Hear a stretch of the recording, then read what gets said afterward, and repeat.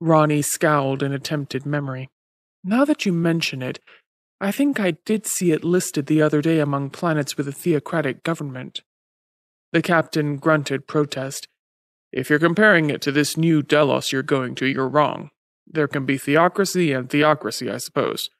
Actually, I imagine Shangri La has the most, well, gentle government in the system. Ronnie was interested. His recent studies hadn't led him to much respect for a priesthood in political power. What's the particular feature that seemed to have gained your regard? Moderation, Voysky chuckled. They carry it almost to the point of immoderation, but not quite. Briefly, it works something like this. They have a limited number of monks, I suppose you'd call them, who spend their time at whatever moves them at the arts, at scientific research, at religious contemplation. Any religion will do, as students of anything and everything, and at the governing of Shangri La.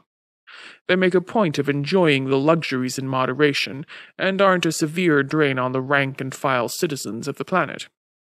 Ronnie said, I have a growing distrust of hierarchies. Who decides who is to become a monk and who remain a member of the rank and file? The captain said, A series of the best tests they can devise to determine a person's intelligence and aptitudes. From earliest youth, the whole populace is checked and rechecked. At the age of 30, when it is considered that a person has become adult and has finished his basic education, a limited number are offered monkhood.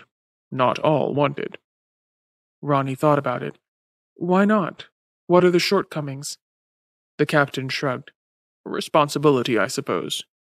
The monks aren't allowed sex, booze, that sort of thing, I imagine? Good heavens, why not? In moderation, of course. And they live on a higher scale?